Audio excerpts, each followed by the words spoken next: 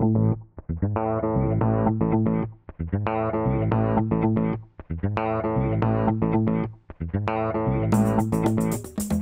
labor que yo hago aquí en Fernando Torres pues sería buscar el setup correcto de una persona a una bicicleta, de un deportista a una bicicleta.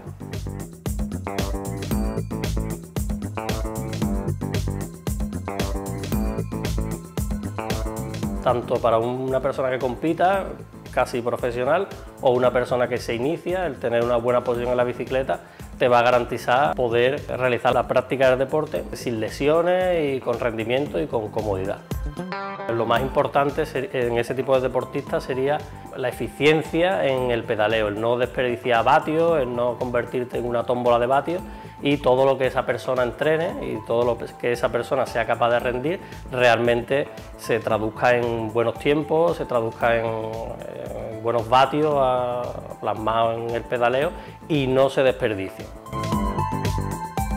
Podemos decir que también le va a importar rendimiento porque cuanto menos se esfuerce, menor va a ser el desgaste que va a tener. Una persona que empieza necesita eh, no tener molestias y que sea algo placentero. Lo más común son eh, dolores en las lumbares, rodillas y cervicales.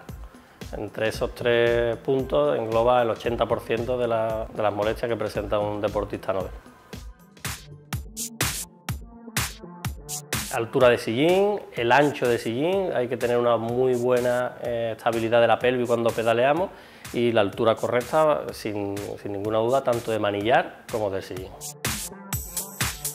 Lo que intentamos es que el peso del ciclista caiga muy encima de los pedales para que se puedan generar vatios. Darle más acelerador al ciclista en la bicicleta. Es como un biomecánico moderno le puede llamar a echar más peso encima de los pedales. Vamos a generar tanta potencia como peso nuestro caiga sobre los pedales.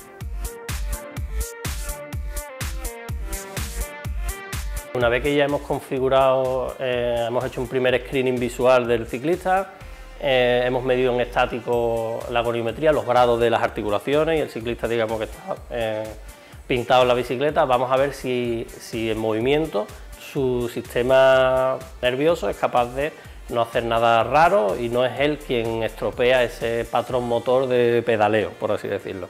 Con esta máquina lo que hacemos es medir en un montón de puntos del cuerpo, en el tobillo, en las rodillas, en la cadera, en las costillas, en el hombro, en la muñeca, en el pie, mide con, una precisión bastante grande, comprobamos que esas métricas en dinámico son correctas, que es casi más importante que eh, la medición en, estático.